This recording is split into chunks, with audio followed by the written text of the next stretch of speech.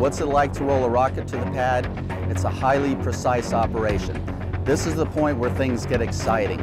Uh, this morning, we're getting ready to move this massive structure called the MLP, it stands for Mobile Launch Platform, from the vertical integration facility to the pad. The mobile launch platform weighs between a million and two million pounds. It supports the powerful Atlas V rocket and today the AFS PC-5 spacecraft. Just prior to roll, we raised that massive structure three inches on these undercarriage train assemblies. And I like to call it the first quarter mile to space. It's approximately a quarter mile to the pad.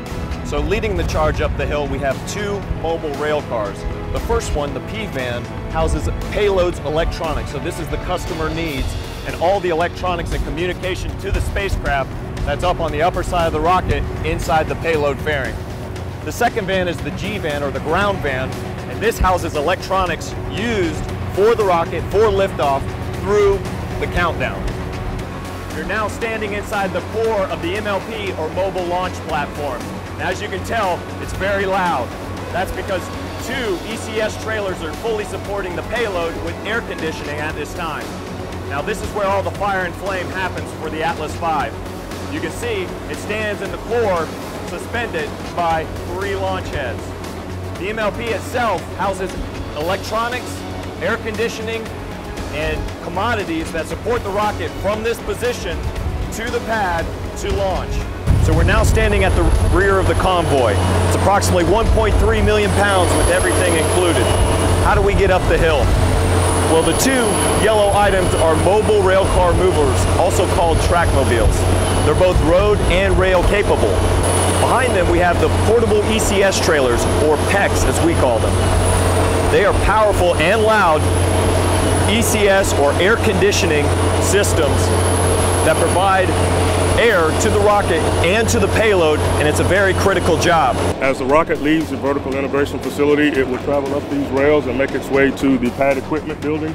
Once the rocket is at its proper position at the pad equipment building, the crew will lower the MLP onto its piers or to the platform. Once the rocket is hard down, uh, MLP is hard down on the piers, crews will proceed to make pneumatic and electrical connections.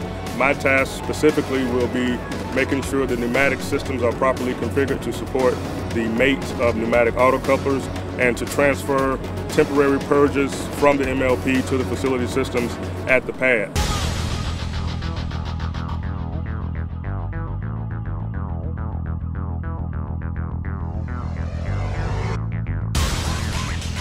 Dave, how you doing, man? How you doing? We're getting ready to roll. Um, so I know you got the fiber card today. Uh, are you good to go? Yeah, man, we're in.